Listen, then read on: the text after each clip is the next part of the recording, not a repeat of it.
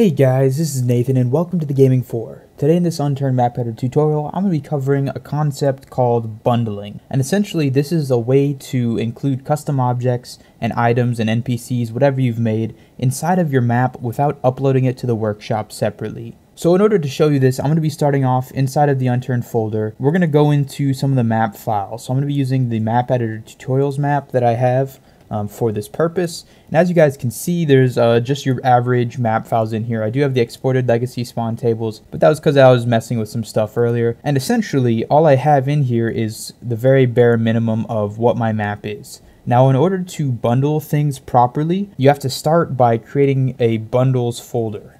And essentially this folder is the equivalent of the bundles folder over here. Next, you got to decide uh, what kind of custom objects you're going to be putting inside of your map. And depending on what you want to add to your map, it'll sort of decide what you're going to have inside of this bundles folder. So let's say I've got a custom note from one of the previous tutorials. I'm going to copy that and paste that right in here. Now this is not going to be the location that this note eventually ends up, but um, this is going to be included inside of our map files. So next we want to go into the bundles, the actual bundles folder, and we're going to find the location for actual notes. Now, from my understanding, it's inside of objects, um, small or medium, I'm not sure it matters, and then maybe we'll put it in quest. This is pretty good. Now, what you guys need to pay attention is which folders you go through in order to get to this location. Now, for the notes, I went objects, small, and then quests.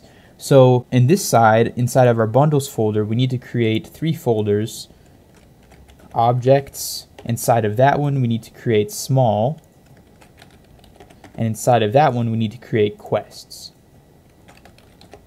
Now inside of this quest folder is where we are going to put our actual note.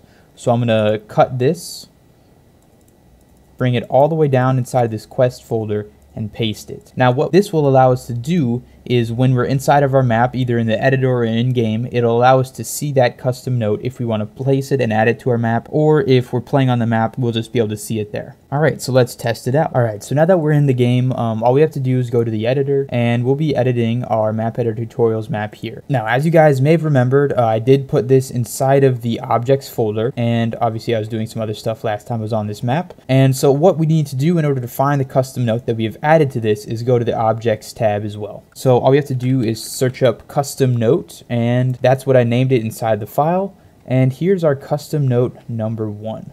And of course we can place this down um, and we'll even be able to interact with this in game. So we'll go into the single player, be able to see what I wrote on this note I don't actually remember. And that's pretty much how it's going to work. All right, so all we have to do is go in here and we should see our custom note um, somewhere in this map. So let me, oh, here it is. All right, so here's our custom note. Um, let's see, what did I actually use it? Okay.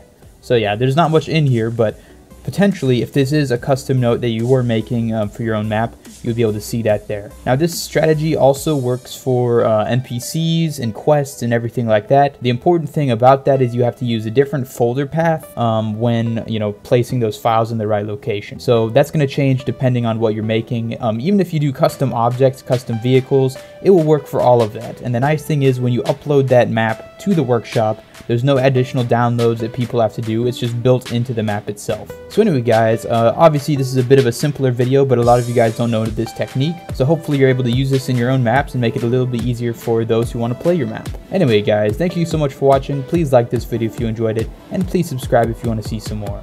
I will see you all later.